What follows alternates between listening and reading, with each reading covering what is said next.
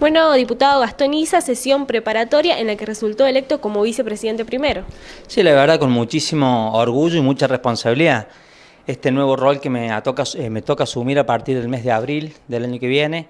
La verdad que fui nominado por, el, por los colegas del interbloque Avanzar y Cambiemos por San Luis y bueno, fui sometido a votación y recibí también el acompañamiento de los, de los demás diputados también presentes eh, en el recinto. Así que la votación fue por unanimidad de los presentes, muy contento, porque creo que el diálogo, el consenso es muy importante y, siempre pensando en, un solo objetivo que es mejorarle la calidad de vida a los, vecinos de la provincia. ¿no?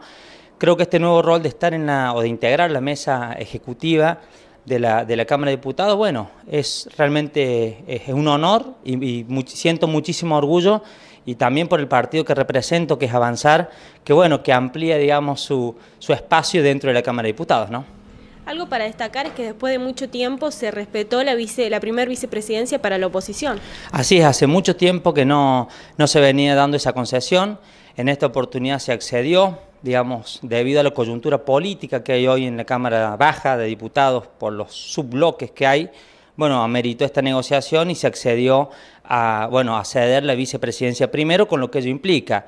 Básicamente el rol del vicepresidente es acompañar eh, o estar en alguna, ante alguna ausencia del presidente o cuando el presidente no pueda eh, estar en alguna sesión, el vicepresidente primero es quien preside eh, la sesión en la Cámara Baja. Así que con lo que ello implica un grado de responsabilidad muy grande y, bueno, y muchísima confianza de parte también de los colegas diputados.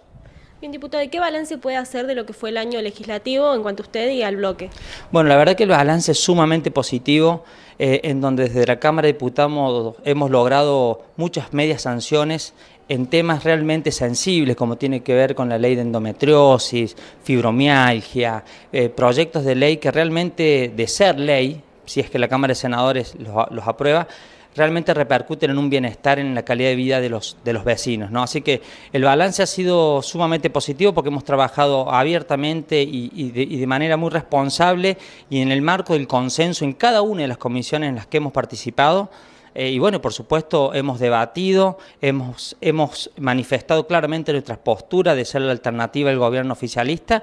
Eh, se nos han respetado acuerdos que hemos logrado, digamos, eh, lograr. Así que bueno, la verdad que el balance es positivo debido a todas estas circunstancias. Esperemos que, el año que viene, bueno, continúe de esta manera, ya que también el año que viene es un año electoral y tiene otras cuestiones, ¿no?